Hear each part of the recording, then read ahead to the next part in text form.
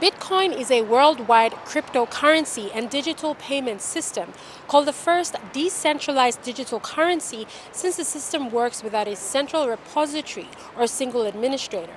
Now, futurist Mark Pesce believes it is one of the many tools Papua New Guinea could use on its way to development. He said a digital money economy is on the horizon for PNG as the infrastructure is not expensive. I think what we're going to start to see is we're going to move, mobile money is a great place to start, but the next place we're going to go is what we call digital money. So it's money that is issued by the central bank that lives on your smartphone. You can send it immediately to anyone else's smartphone, a business can send it to another smartphone. And so it then essentially what happens is that your smartphone is your bank, even though you probably still have a connection to an actual bank through your telco.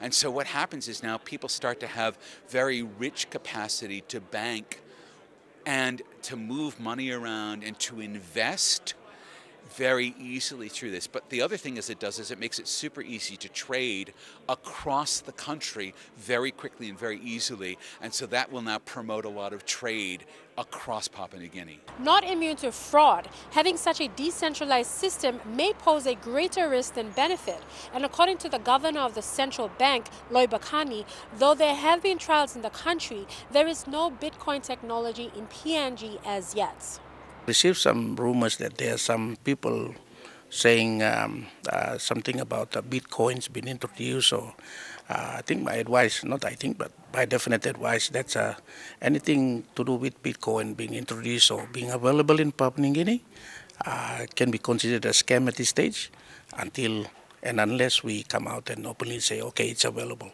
Uh, at the moment, it's not available in Papua New Guinea, but some people are trialing it out, and it's not been it's not acceptable yet as part of uh, a cryptocurrency in Papua New Guinea. Leon Gerari, National EMTV News, Sydney.